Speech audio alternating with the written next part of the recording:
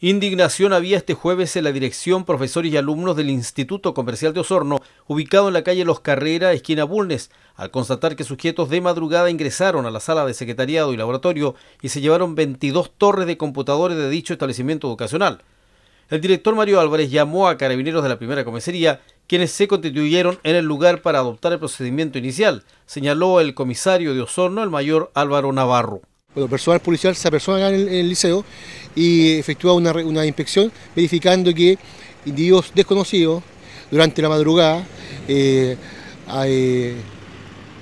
mediante el escalamiento, ingresan, saltan un muro y posteriormente ingresan a una sala de computación sustrayendo 22 torres de computadores, solamente las torres, dejando las pantallas y un proyector. Todo habló en 8 millones de pesos. Inicialmente, Carabineros de la primera comisaría había comenzado con las diligencias investigativas, sin embargo, el Ministerio Público de Ozono ordenó a efectivos de la Viro de la PDI a seguir con el procedimiento de rigor, señaló el mayor Navarro. El personal policial se ha constituido con todos los medios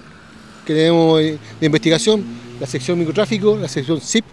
no obstante la el Ministerio Público dispuso que el, lugar fuera periciado por la PDI. La comunidad del Instituto Comercial de Osorno espera que la policía logre esta vez aclarar el millonario robo de computadores ocurrido de madrugada y que causó la indignación de su director Mario Álvarez y de profesores como alumnos del tradicional establecimiento educacional osornino.